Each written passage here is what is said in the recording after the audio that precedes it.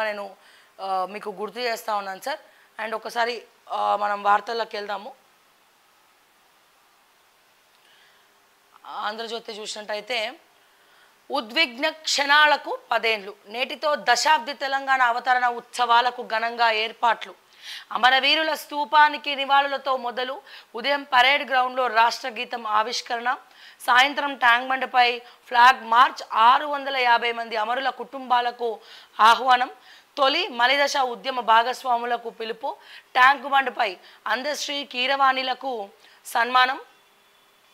నేటితో ఉమ్మడి రాజధానిగా కాలం చెల్లు.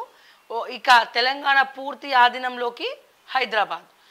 తూర్పున పొడుస్తున్న ఎర్రని పొద్దు చల్లని చిరుజల్లుల నీలి మేఘం పసుపు పుప్పోడుల తంగేడ తంగేడులు మిచ్చుకున్న పాలపిట్ట రెక్కల జిలుగులు మొదంతో మోదంతో విర విరబూసిన మోదగ పూలు నిగనిగల గునుగు కోసల మిసమిసలు పచ్చని జమ్మి చెట్టు లేక లేలేత చిగుళ్ళతో దశాబ్ది ఉత్సవాల తెలంగాణపై విరిసి మురిసిన సింగడి రాష్ట్రమంతటా సంబరాల సందడి.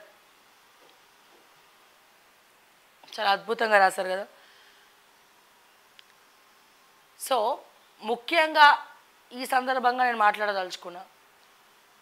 మళ్ళా మళ్ళా శ్రావ్య ఇదే మాట్లాడుతుంది ఇదే మాట్లాడుతుందని దయచేసి అన్యదా భావించద్దు.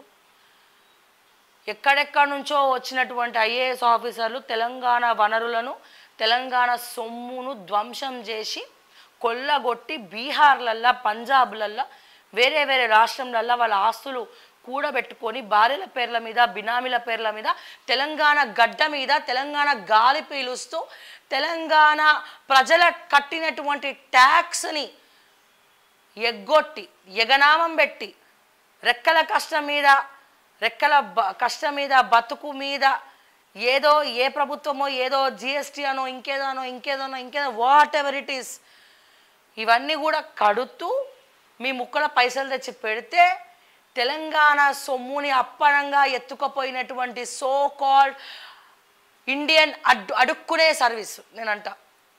ఇండియన్ అడుక్కునే సర్వీస్ వీళ్ళు. చదివింది ఇండియన్ అడ్మినిస్ట్రేషన్ సర్వీస్ కాదు. ఇండియన్ అడుక్కునే సర్వీసు సో వీళ్ళందరినీ ఈ దినోత్సవం రోజన్న ఆవిర్భావ దినోత్సవం రోజన్న అటువంటి దొంగలను రేపటి నుంచి ఈరోజు సంబరాలు ఉంటారు కదా ఈ మూడో తారీఖు నుంచి ఖచ్చితంగా ప్రక్షాళన చేసి తీరాల్సిందే. ఏ ఏ ఒక్కడు సోకాల్డ్ సోమేష్ కుమార్ ఈ రజత్ కుమార్ వీళ్ళందరి కుమారులు సోకాల్డ్ కుమార్ నవీన్ మిట్టల్ దాన కిషోర్ జయేష్ రంజన్ అరవింద్ కుమార్ వీళ్ళందరూ కూడా ఒక బ్యాచ్ పది పదకొండు అమయ్ కుమార్. వీళ్ళందరూ తెలంగాణలో ఉన్నటువంటి భూముల్ని కొల్లగొట్టి వాళ్ళ సొంత ప్రయోజనాలకు వాడుకొని బినామీల పేర్ల మీద ఆస్తుల్ని చేసుకొని కొంతమంది యూనివర్సిటీలు షాపింగ్ కాంప్లెక్స్లు విచ్చలవిడిగా. తెలంగాణ సొమ్మును కొల్లగొట్టినటువంటి ఈ దొంగలని ఏం చేయాలి? ఏం చేయాలి? ఎడమకాలు బూటితో తానే చంపాలి? వాస్తవానికి. కానీ వీళ్ళు ఏం చేస్తున్నారు? ఎవడిని ఎవడు కాపాడుతున్నాడు? సోకాల్డ్ ఐఏఎస్ ఆఫీసర్లను ఏం చేస్తున్నారు? ఎందుకు పట్టించుకోరు? అటు కేంద్రమైనా ఇటు రాష్ట్రమైనా? ఒక ఐఏఎస్ ఆఫీసర్లకు ఈరోజు వేల కోట్ల ఆస్తులు ఉన్నాయంటే ఏందది? ఎడికెళ్ళి వచ్చినాయి వాళ్ళకి ఆస్తులు? క్వశ్చన్ చేసే దమ్ము ఎవరికి లేదు ఈ రోజున. సిగ్గుమాలతనంతో మనం కూర్చున్నాం ఈడ. వాళ్ళు ఇంకా అదే పదవులు అనుభవిస్తూ ఇంకా ఇంకా ఇంకా కమిషన్లు తింటూనే ఉన్నారు సిగ్గుశరా లేకుండా. వాళ్ళు అన్నీ కలిపితే వాళ్ళు తీసుకున్నటువంటి లక్షల కోట్ల రూపాయలు సోకాల్డ్ ఐఏఎస్ ఆఫీసర్లు లక్ష వేల కోట్ల రూపాయలను జేబులో వేసుకొని అవలీలగా ఎత్తుకపోయిండ్రు తెలంగాణ సొమ్మును. ఈ రోజున ఎవడి పాలైండ్రా తెలంగాణ అంటే ఐఏఎస్ల పాలైండ్రా తెలంగాణ. దేశంలోనే దేశం మీదనే ఎక్కడ లేదు మన తెలంగాణలోనే ఉంది. ఏమి ఏముంది తెలంగాణలో? దేశంలో ఎక్కడ ఏ ఐఏఎస్ మీద ఒక చిన్న మచ్చ లేదండి. గొప్ప గొప్ప ఐఏఎస్ ఆఫీసర్లను చూసినటువంటి మన ఇండియా. గొప్ప గొప్ప వాళ్ళు ఉన్నారు. వాళ్ళు ఎందుకో ఇటువంటి లత్కోర్ పనులు చేయలేదు మరి. వీళ్ళంతా అడ్డదిట్టంగా ఎగ్జామ్ రాసి పైసలు ఇచ్చి మేనేజ్ చేసి వచ్చిన బ్యాచ్ లక్కున్నారు మరి వీళ్ళంతా. సో ఇంకా ఇటువంటి ప్రభుత్వాలు కూడా ఇటువంటి అడుక్కునే బ్యాచ్ని కాపాడుతుందంటే ఇవన్నీ నమ్మాలండి. ఎస్ ఖచ్చితంగా ఈరోజు మనం మాట్లాడుకోవాలి. తెలంగాణ ఆవిర్భావ దినోత్సవం రోజు ఐఏఎస్ల గురించి కూడా మాట్లాడుకోవాలి. ఎందుకంటే సో కాల్డ్ ఐఏఎస్ ఆఫీసర్ తెలంగాణోడు కాదు. ఒక కీరవాణి ఆంధ్ర అతను. జయ జే హే తెలంగాణ మ్యూజిక్ చేస్తున్నాడు అంటేనే మనకి గుండెలేనో గుచ్చుకున్నట్టు అయ్యి ఇంత కాంట్రవర్స్ అవుతుంది మరి ఎవడో బీహార్కి వెళ్ళి పంజాబ్కి వెళ్ళి ఓడోడో ఎక్కడెక్కడి నుంచో వచ్చి తెలంగాణ వనరులను తెలంగాణ భూములను కొల్లగొట్టి కోట్ల రూపాయలు ఈ రోజున హైదరాబాద్ ఓఆర్ఆర్ చుట్టూ అక్కడ కొంచెం అక్కడ కొంచెం అక్కడ కొంచెం అతుకులు తీసుకొని బినామీల మీద పేర్ల పెట్టి పెళ్ళాల పేర్ల మీద పెట్టి గొల్లాల పేర్ల మీద పెట్టి అన్నీ పెట్టి వాడు అప్పనంగా రిటైర్ అయిపోయి పోయి కూసుంటే వాడిని ఎందుకు వదలాలంటున్నా నేను?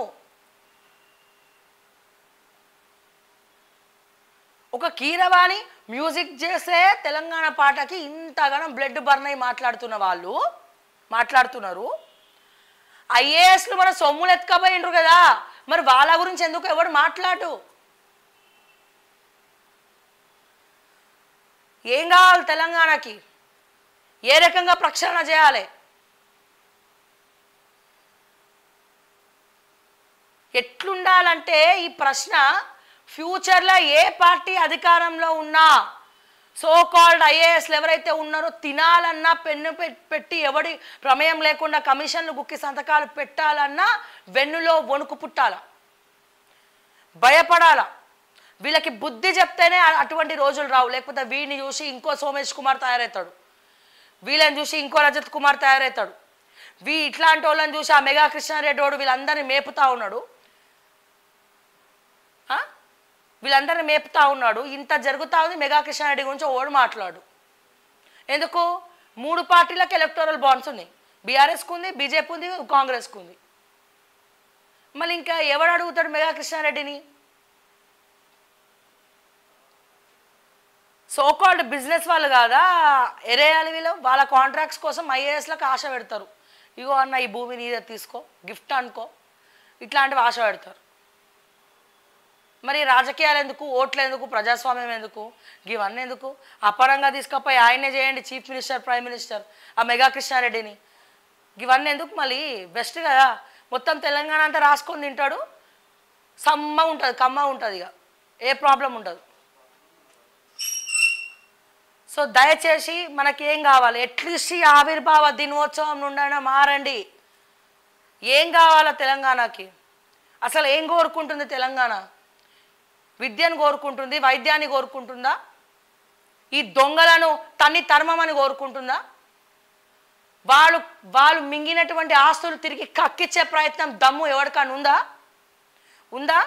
ఇమ్మనండి కాంగ్రెస్ పార్టీని ఏడవ గ్యారంటీగా ఈ సోమేష్ కుమార్ తిన్న ఆస్తులు రజత్ కుమార్ తిన్న ఆస్తులు నవీన్ మిట్టల్ తిన్న ఆస్తులు ఏవైతే రాసుకున్నారో ఓఆర్ఆర్ చుట్టూ వెంచర్లలో ఇన్వెస్ట్ చేసిర్రో ఏడవ గ్యారంటీగా అయ్యండి పేద ప్రజలకు అందరికి రాసేయండి తిరిగి తీసుకోండి.